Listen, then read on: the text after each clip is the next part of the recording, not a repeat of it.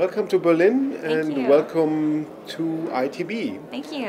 Um, so, we're going to jump into the topic because we only have three questions. So, how would you describe uh, the focus of your work and why do you think it is important for the industry? What are you actually doing? We're doing a lot. We're having fun. Um, uh, as director of marketing for Meeting Professionals International, associations, MICE associations like MPI exist to help the meetings and event industry um, professionals through education, through providing network opportunities, through research. And um, we've seen after the pandemic, quite a bit of turnover, which has been really interesting. Actually, 60% of the meetings and events industry has turned over. And so we have a lot of uh, new faces in the crowd. Um, associations like MPI are really, really essential in helping them upskill and providing that professional home for them to kind of you know, get their boots on the ground and be able to enter the industry and, and evolve. Great.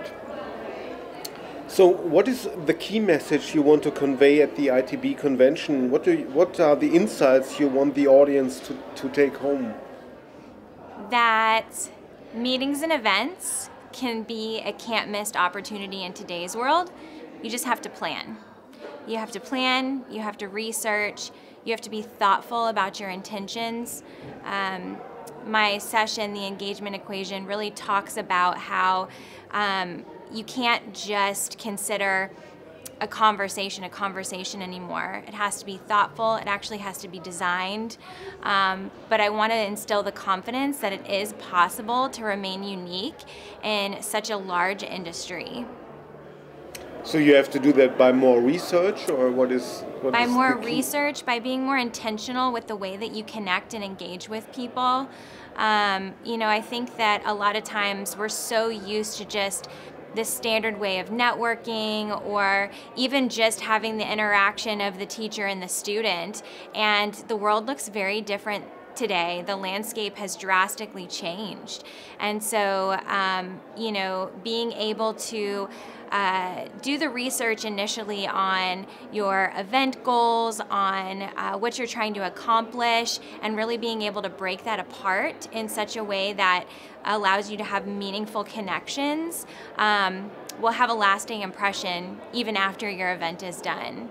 Um, so, you know, really just that intentional that intentionalness and, and being able to connect with people on a much deeper level. Yeah, and the tools for accomplishing all that they are already there or they already exist. I think so. I think it's just a matter of being able to identify and simplify. I think we get I know I do. We get very overwhelmed a lot of the time with our KPIs, um, you know, how we have to perform from a revenue perspective when it comes to meeting and events, um, and really anything that anybody does.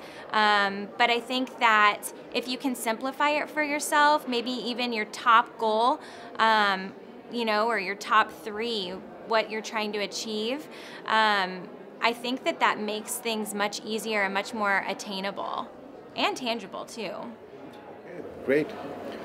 So, the, the motto of this year's ITB convention is pioneer the transition in travel and tourism together. I mean, from your perspective and from your experience, what is the biggest challenge of this transition and how can it be tackled? I'm going to go back to what I said earlier. I definitely think it's, you know, MICE associations like MPI, um, you know, are here to help the uh, challenge of the new uh, people entering the workforce uh, because we've seen such a big turnover. Um, it, has been a really interesting experience in how. Um, CEOs, managers, directors are coming to us saying, "I need help with our team. We need education, um, and we've got to we've got to train them and fast." Um, so it's been a good challenge, I think, um, but it, it's definitely been a new one that we've seen rapidly out of the pandemic. You mean training staff will be a key challenge? Training staff, yes, absolutely. Okay, thank you very much. Yeah.